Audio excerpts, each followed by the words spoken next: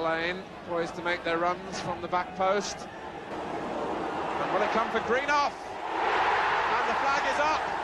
And the referee waves.